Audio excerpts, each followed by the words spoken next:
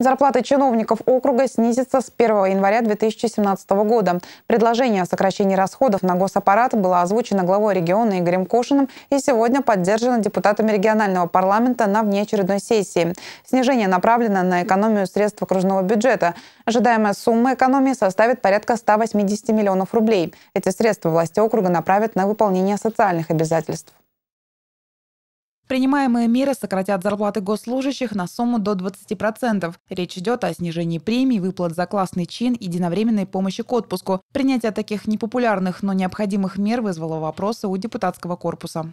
Не получим ли мы вот в ближайшем будущем кадровый голод э, по государственным служащим, особенно по квалифицированным, опытным э, специалистам?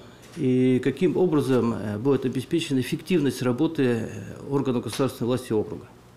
Как справедливо отметил руководитель аппарата администрации Михаил Васильев, НАО занимает почетное второе место в стране по уровню оплаты труда госслужащих, и даже это снижение несущественно повлияет на эту статистику.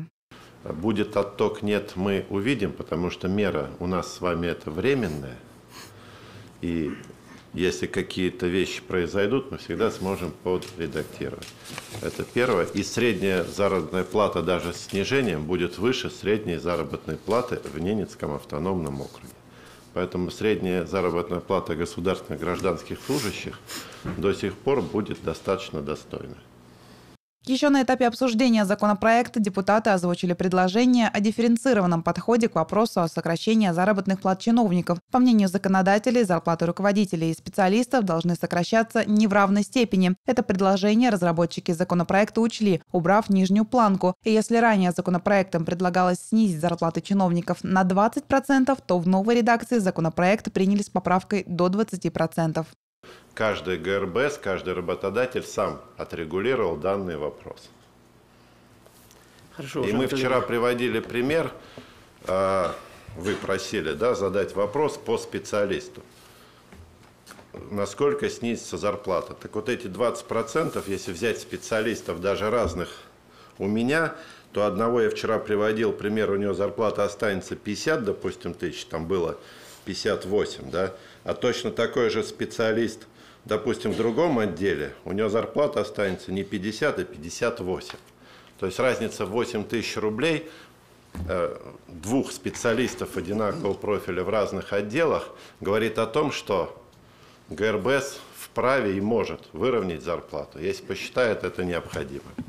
Стоит отметить и тот факт, что сокращение зарплат чиновников – это не просто мера экономии, но и требование Минфина, непременное условие для получения бюджетных кредитов. С этим депутаты регионального парламента не могли не согласиться, как и с тем, что полученная экономия поможет сохранить социальную поддержку населения. Э, те средства, которые мы здесь сэкономим, в районе 200 миллионов рублей, они должны и будут направлены прежде всего на то, чтобы поддержать наш социальный блок. Были среди депутатов и те, кто выступил против любого сокращения зарплат в регионе, в том числе и зарплат чиновников. Я буду голосовать против, потому что ну, все-таки зарплата – это священная корова, которую все-таки трогать нужно в самую последнюю очередь. Спасибо. А в итоге решение о сокращении заработных плат чиновников было поддержано большинством голосов депутатов и принято в первом и втором окончательном чтениях.